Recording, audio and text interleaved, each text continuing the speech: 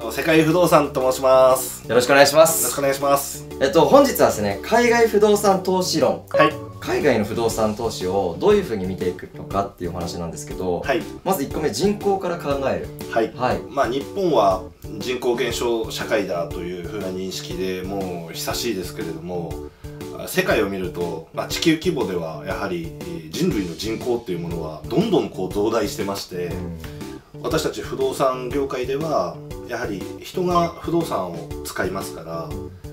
人口が増えないことにはえー私たちの商売はこうちょっと上がったりというかですね。ですからそれは世界規模で見た場合でもやはりこう人口の増加が見込めているそういう推計の国に関しては、えーどうしてもこうビジネスとして携わりたくなってしまいますね。ってなると、また別テーマの YouTube のね、動画で出てくると思うんですけど、はい。日本ははい人口があんまり増加してこないと思うんですよ。はい。そういう視点ではまた別の視点で投資を考えていくっていう。そうですね、人口が今後減少していくというトレンドですからやはりえー日本の不動産を利活用する人は少なくなっていくんじゃないか。資産価値としては不動産の価格は下落していくんじゃないかというふうなのが通常の見方ですけれども、まあ、しかし今インバウンドで、えー世界中の方が日本にお越しいただいて、まあ、日本の良さを知っていただいて日本に住みたいっていう方もえー増えていく可能性もありますしその日本の不動産建築とかですねインフラっていうものは素晴らしいものがありますからだからまあ日本人がこう減少してるのは事実なんですけれども、まあ、不動産っていう視点ではあ他にも利活用の道はあるのではないかなというふうに思ってますね。はいありがとうございます。はいこれ2つ目の外貨建て資産形成ですかね。はい。これはどういうことですか？これがあの海外の不動産投資まさに総論というふうな意味で非常に重要な要素なんですけれども海外の不動産を購入する場合には基本はその国の通貨で、えー購入をするわけなんですね、えー例えばロシアの不動産であればルーブルベースで不動産を保有しますしですからそういうふうな意味では、えー海外の不動産に投資するというのはそのポートフォリオの中で円建ての資産例えばドル建ての資産まあ、ルーブル建ての資産みたいな感じで、えーリスクもヘッジできますしまたそれぞれのこう通貨の値上がり値下がりにも応じてこう資産額もこう変わるというようなところがあー総論としては重要ですね。はいわかりました。ありがとうございます。3つ目のこの日本人である優位性ってはいいうところはどうですかね？はい、これは私自身その世界中をですね旅して回ってると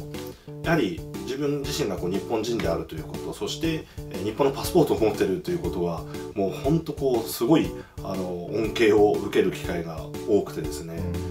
まず好意的にあの扱っていただけますしまた日本のパスポートっていうのはその、まあ、日本人ひいてはこの日本のあ民族性とか経済とかいろんなものに対する、えー信用が担保されてますからいろんな国でやはりこう結構丁寧に扱われるというかですね。あ、そうなんですね。はい、ですから、まあ、海外の不動産投資における総論としてはそういう今ポジショニングである我々日本人はもっともっと積極的にですね、まあ、いろんな国に行って不動産だったりその国の通貨建ての資産だったりっていうふうなものをあの体験してみるべきだというふうに思ってます。うんまあ、その中で日本人として世界の中から求められていることというものをあの肌で感じることができますからそこは逆に、えー日本人として貢献できるものを提供することによって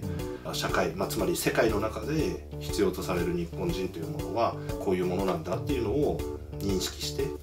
持ち帰ることができると思いますので、まあ、そういったものがえ海外のその不動産投資においてはベースとして非常にこう重要になってきますね。あなるほど。はい